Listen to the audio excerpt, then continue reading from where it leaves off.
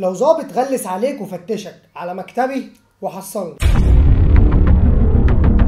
مبدئيا كده الظابط عشان يفتشك لازم شرط من اتنين. واحد الظابط ده يمسكك في حالة تلبس. والحالة دي تسمح له إن هو يفتشك قبل ما يقبض عليك. والتلبس ده اللي هو يقفشك بسجارة أو يشم منك ريحة معينة. اتنين لازم يكون في إذن نيابة طالع ضد والإذن ده لازم يكون فيه تفتيش قبل القبض. أما بقى يفتشك من غير أي شرط من الاتنين دول فالتفتيش ده باطل. وخلي بالكم من بلدكم.